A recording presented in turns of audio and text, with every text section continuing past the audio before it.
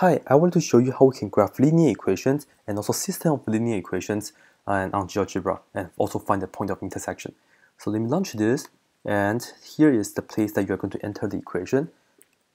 Okay, for the usual calculator you have to isolate the y, but then for GeoGebra you don't. Let me graph a line for you. Let me say I want to graph 2x plus 3y is equal to 1.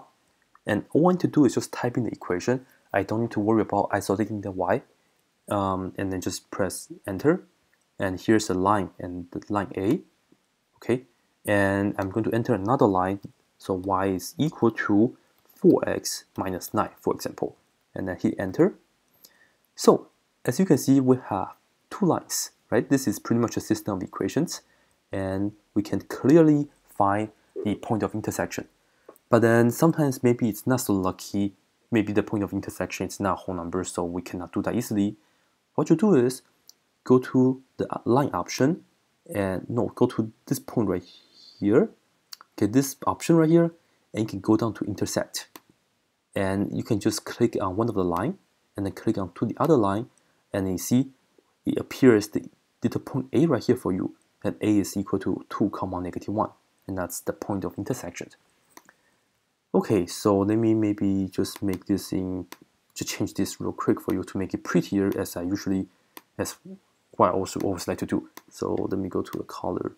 Let me say A is just uh, black and then B is in red. And both of the line, I want to make it thicker. And now it looks prettier. But then maybe sometimes if you want to include this onto your test or your handout, for example, you want to have equation of the line. When you save this as a picture, this right here are not going to be included. So what you would like to do is click on the line and then go to object property and let me go to basic. And uh, for the showing object, what you want to do is just instead of name, because this is name A, the line A, you want to choose, um, you can choose a name and value, but then the A will just be weird because it will be the A is equal to uh, 2x plus 3y is equal to 1. Let me just choose value. The value will be just the definition, namely the equation. So you see here we have the equation for the line black, and then you can do the same for line B. And I'm just going to change this to value, and you can have that as well. So this is the quick way to do the label. Okay, this is a quick way to do a label. But then of course you can also use a text box if you would like. And let me see what else I can show you.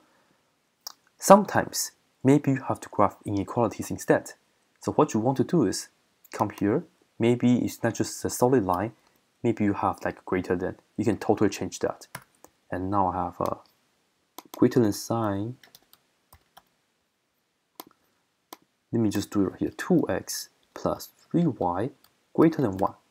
Okay? I think it's really picky. You have to redo it again